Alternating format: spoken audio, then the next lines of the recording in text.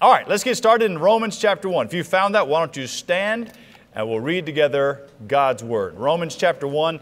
Let's go ahead and read the sentence, verses 1 down to verse 7, with the understanding we're going to spend our time in verses 2, 3, and 4. Grass withers and the flowers fade, but the Word of our God stands forever. Let's begin at verse 1.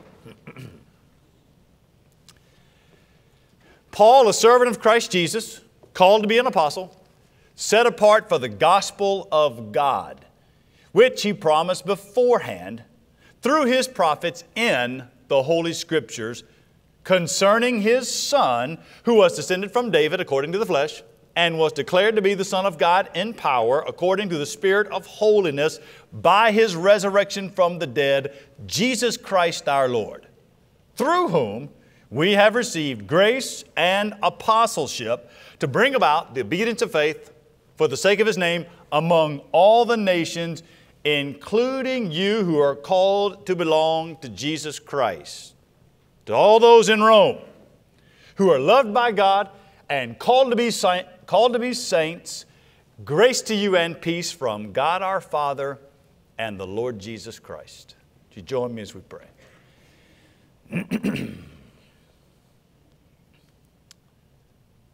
Holy Spirit of God, we need you to speak from your word to us. There are Christian men and women here that need to be ministered to, tempers that need to be calmed, jealousies that need to be erased, pains that need to be healed. In this congregation are many that would physically feel the results of the fall. And Holy Spirit, we need you to minister to us. Open eyes that we can see and ears that we can hear, hearts that we might believe and love Jesus. It's in His name we pray. Amen. You may be seated.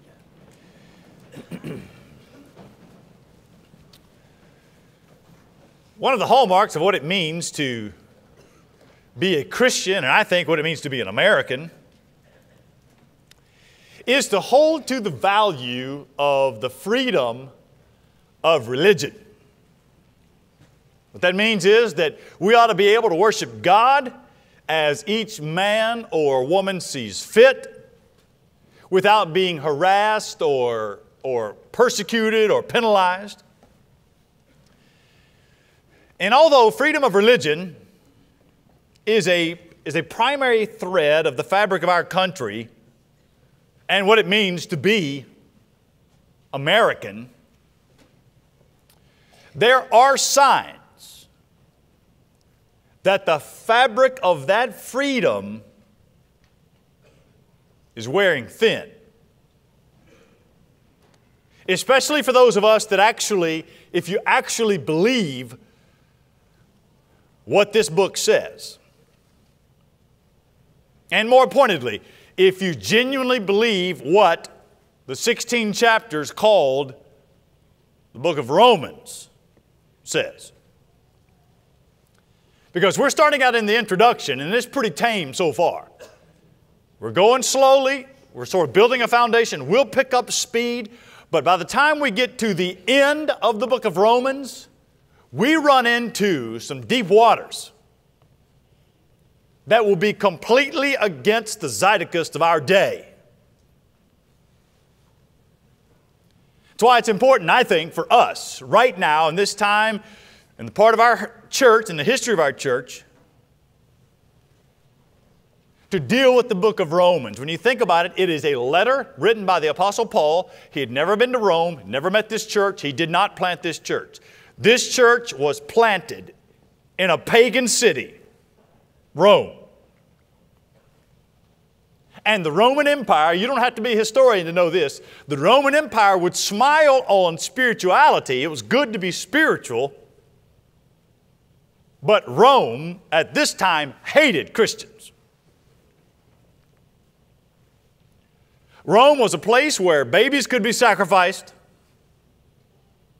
and sexuality was fluid a society that is oddly similar to our own.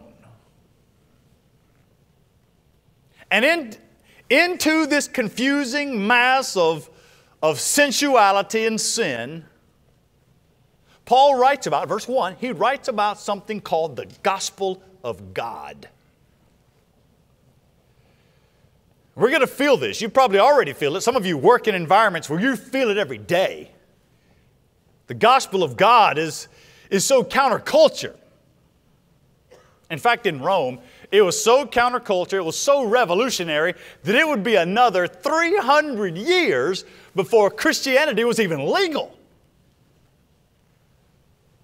So, all of that to say, I think, that's why I think it is the right time for us to dive into the book of Romans so that we as a church, just as individual Christians and as Hickory Grove, so that we might be strengthened, we might be encouraged. I'm praying that the book of Romans will equip us for the tidal wave. It feels like that there is a tidal wave that is getting ready to crash on us. Even still, we don't look at the future with despair. We, we look with hope because of what we believe. We trust in Jesus Christ and we believe that our God, through Jesus, will carry us through. Why? Because we don't cling to a social gospel. We don't cling to a prosperity gospel. We don't cling to a white or a black gospel. Verse 1 says we cling to what Paul calls the gospel of God. And in this section of Romans, verses 1 through 7, Paul explains to us what the gospel of God actually is. So verse 1, we, got, we ended up with the gospel of God. When you pick up in verse 2, it's actually an extension of that sentence as he explains what the gospel of God is and why we must cling to this gospel of God. So for the next half hour or so, my prayer is, I've been thinking about this all week and, and praying for for this time together. My prayer is that the Holy Spirit will bring those of you that are not Christians, will bring you to faith in Jesus so that you might trust and have something to stand on. And for the, the overwhelming majority of you that are believers, I've been praying that the Holy Spirit would move in such a way that you would be strengthened as you stand on the solid rock that is the gospel of God. So let's say it like this the gospel of God is the only gospel that saves. Gospel of God. It's the only gospel that saves.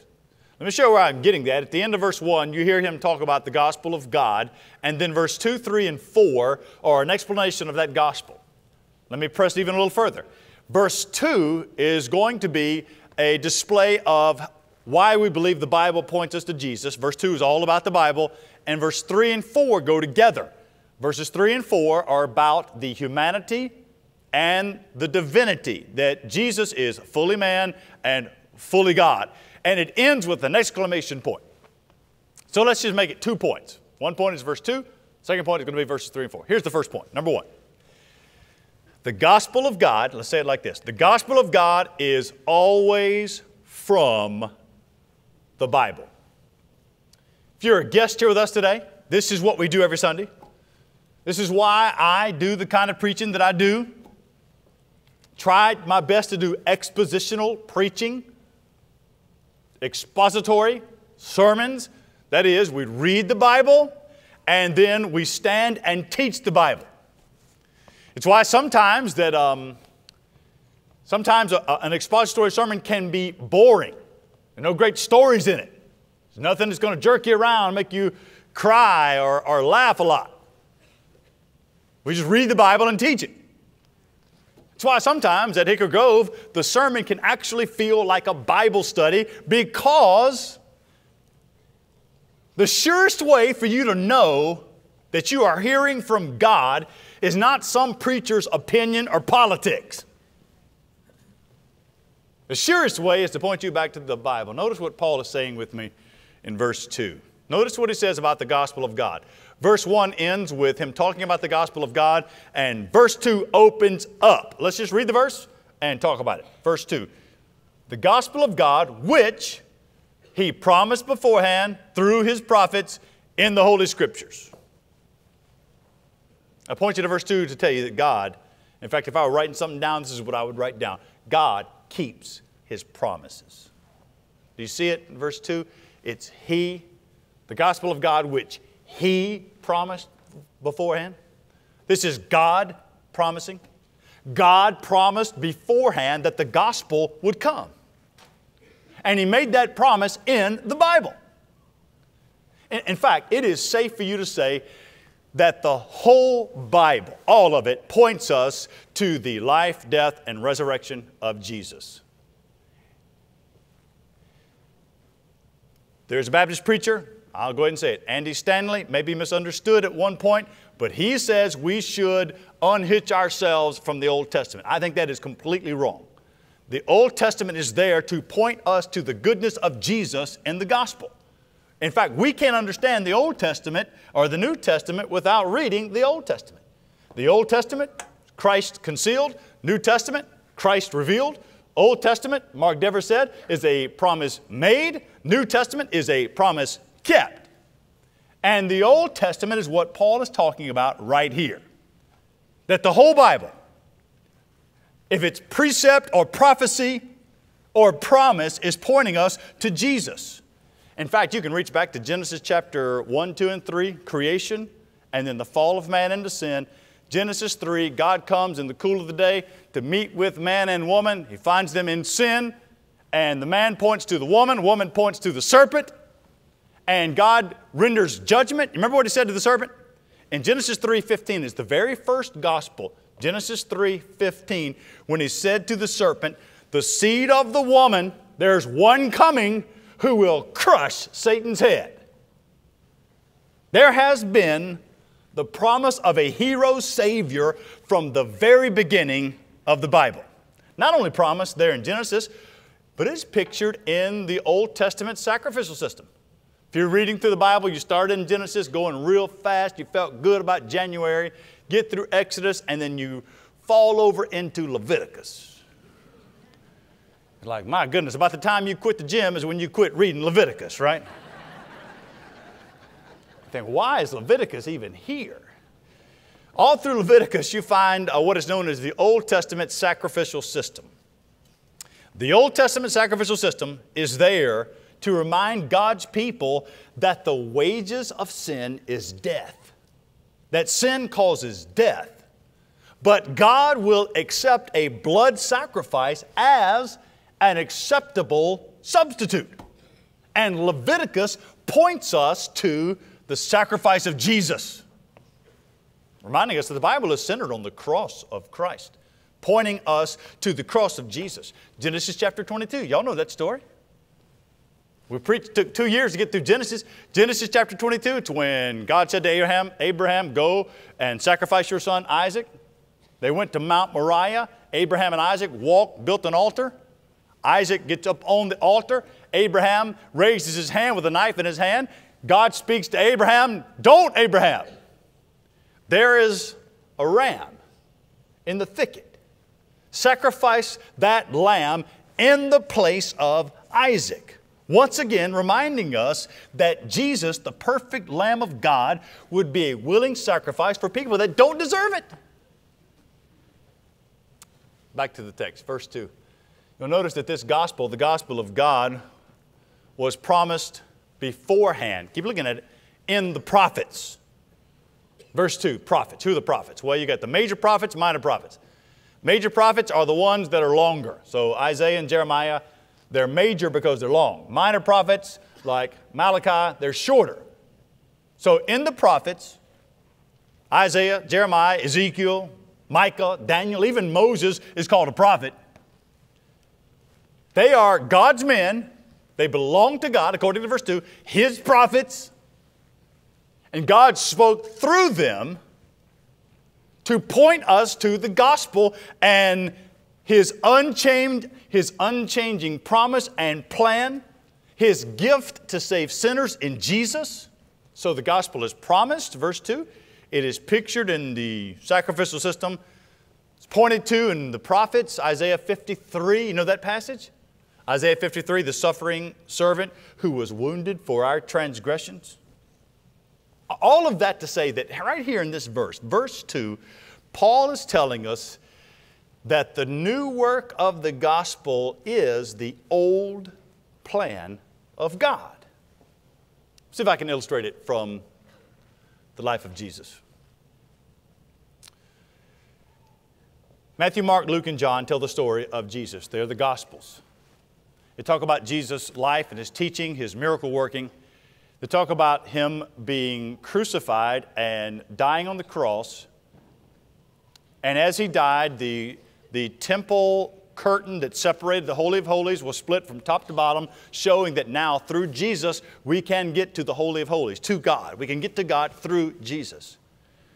He died on the cross saying that it is finished and that work was completed, a completed work of salvation.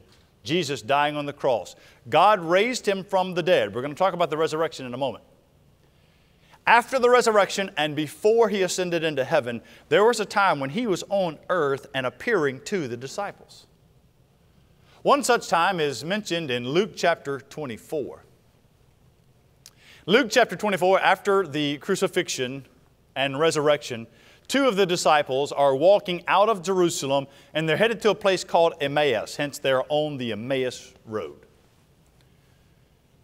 The Bible teaches in Luke 24 that Jesus went and walked beside them on the Emmaus Road.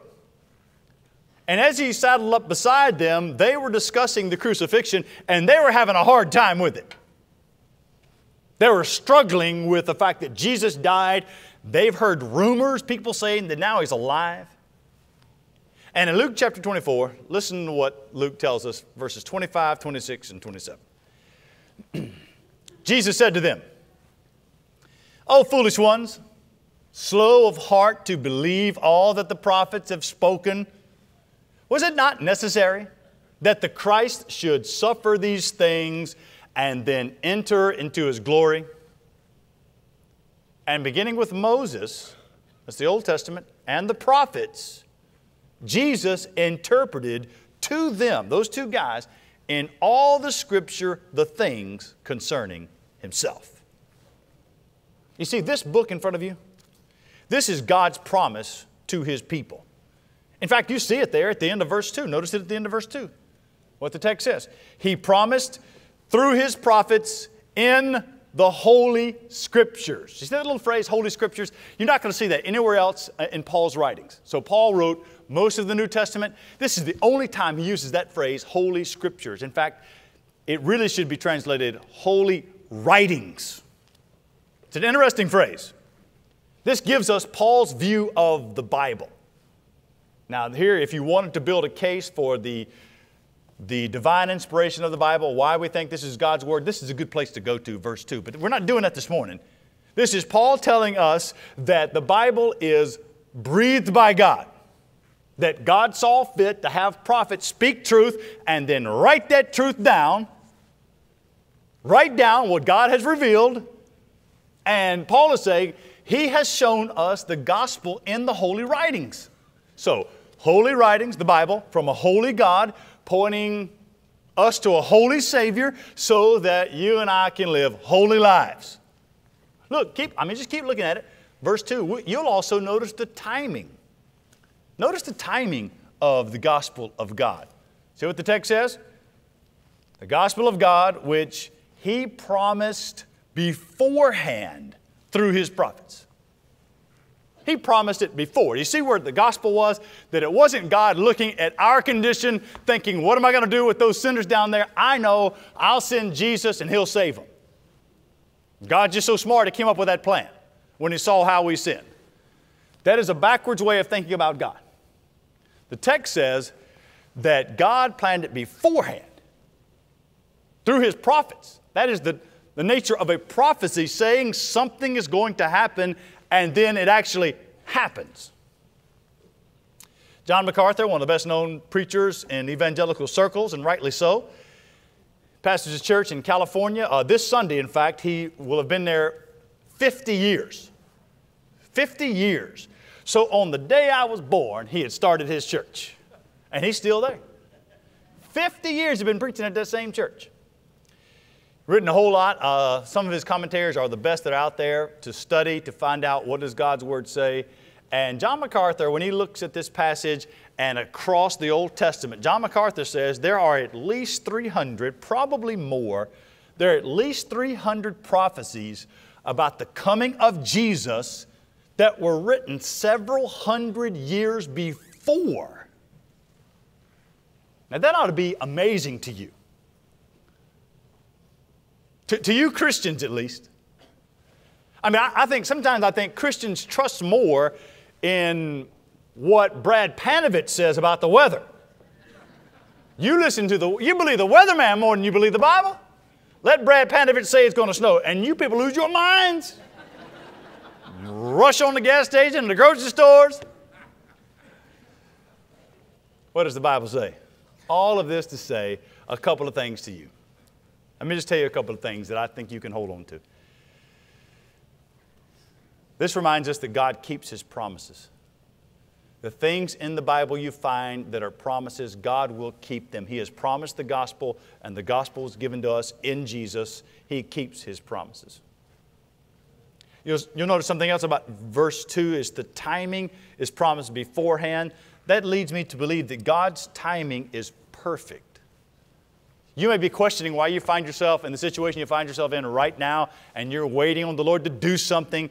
I just want you to know this, this verse reminds us that God's timing is perfect. I'll give you a third thing to consider about the Bible. The Bible is not some place where you just sort of thumb through, put your finger on a verse, and hope you'll get an answer. God might decide to do that. It is God's Word, and God and His Holy Spirit can do whatever He wants. But typically, you're, you're, you're not going to hear from God like that. God's Word then is going to point you to the gospel. You see, the gospel is not just you praying to receive Jesus, and that's the gospel. The gospel speaks to every part of who you are, all the time, every day. And the Bible is going to keep pointing you to the goodness of God found in Jesus, to the gospel. You see, the story of the Bible Story of the gospel. The gospel, the gospel of God is always from the Bible. That's, that's my first point. gospel of God, always from the Bible. Now let's, let's take our eyes. Okay, we got it. No, we're going to get the gospel from the Bible. That's what Paul says. Now, let's see what he has to say about Jesus. Look down at verse 3 and 4. And in verse 3 and 4, you'll find out here's the second point. Number two, the gospel of God is always about Jesus. You'll see it right there in verse 3 and 4. The gospel of God, always about Jesus.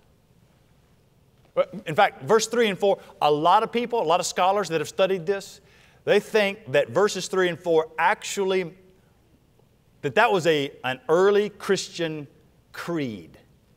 That Paul knew, this is 35 years or so after the resurrection of Jesus, and a creed had developed, and he's inserted it right here in verses 3 and 4. Because what you have here is a description of the humanity of Jesus, verse 3, and the divinity of Jesus in verse 4. Donald Grey Barnhouse, I mentioned him, I think, last week.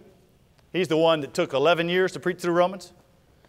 You guys should be more thankful. I'm just taking two years to get through it. 11 years on the radio. And uh, Donald Grey Barnhouse, he said that if you master verses 3 and 4, Romans chapter 1, verse 3 and 4, if you master verses 3 and 4, then you will understand the Christ of the Bible. But if you don't, you are in danger of believing another gospel. Let's take the verses, let's pull them apart. Go with me to verse 3. You'll notice that the gospel of God Verse 3 says it's concerning His Son. The gospel is about Jesus concerning His Son. That Christ is the center of the gospel. That Christ is the means of salvation. That without Christ, there is no Christianity. Any church that does not believe in the perfect life, the death of Jesus on the cross, His bodily resurrection, any church that doesn't preach that is not preaching a Christian gospel. It is not, it's another religion if you're not believing that.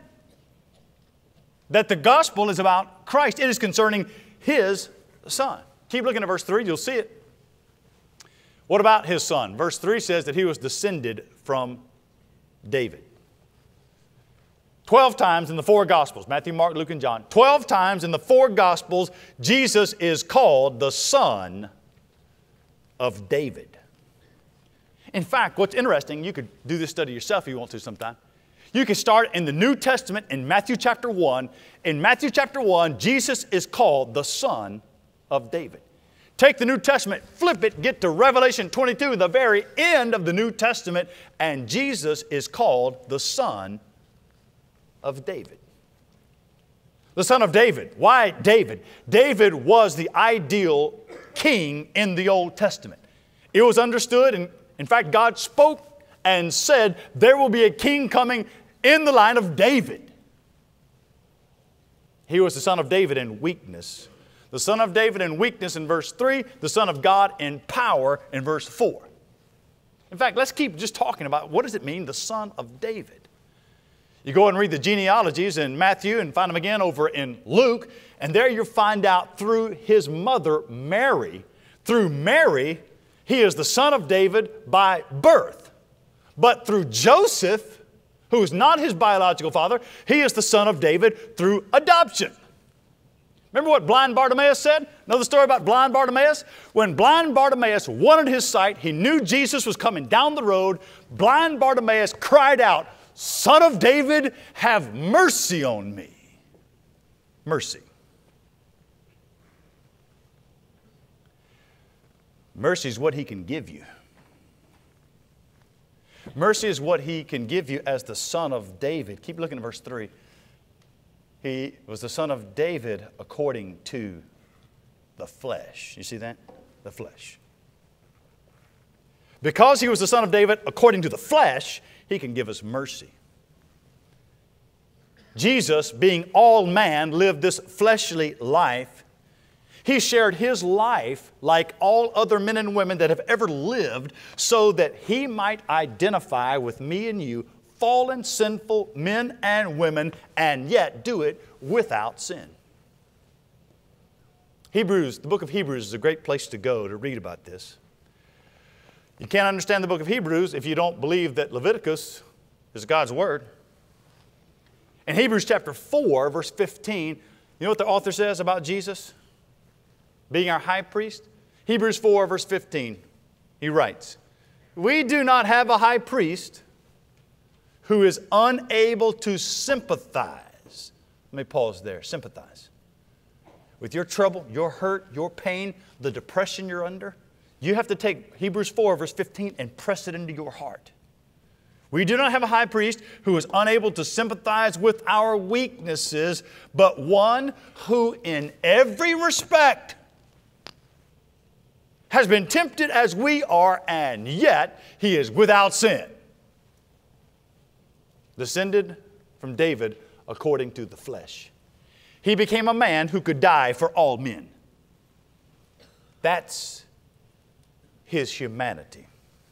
Keep looking at it. Let's drop down to verse 4. Now, verse 4, let's take that entire verse all together.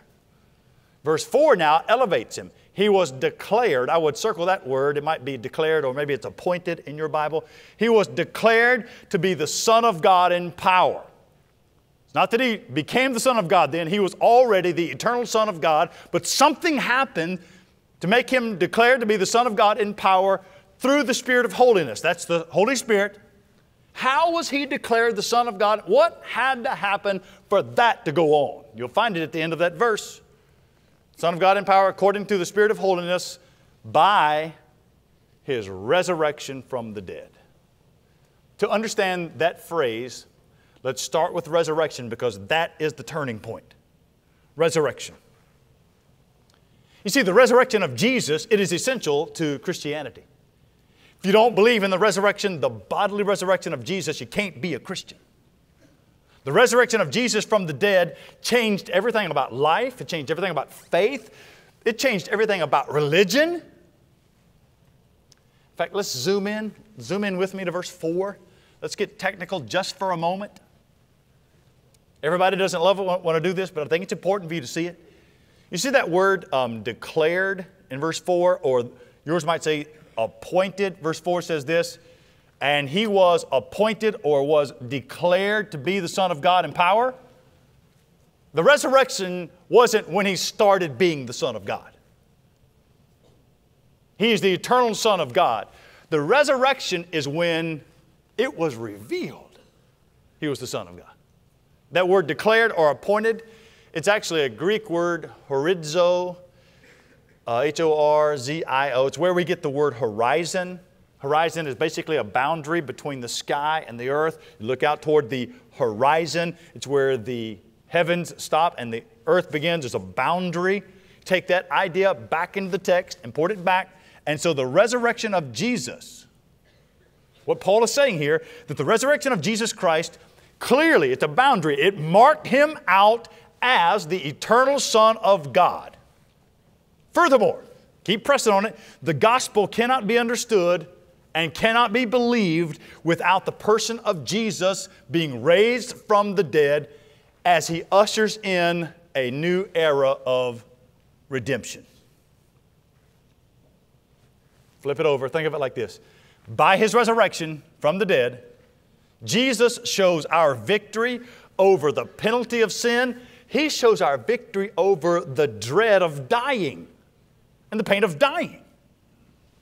Keep looking at verse 4. Notice what the text says He is the Son of God in power. That's a great little phrase. Not just the Son of God, but so you get it, He's the Son of God in power. He has the power to change, the power to heal, He has the power to convict the hardest hearts, to save the worst sinner. His love has no limits. His forgiveness has no end. His power, this is what we sing, His power has no equal. Jesus has the power, according to verse 4, to change sinners into saints.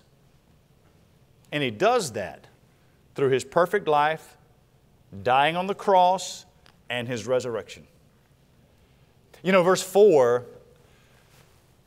it ends with an exclamation point. I'll show it to you. You, you need to look at it. It's a three word statement and a three word title about Jesus. You see it?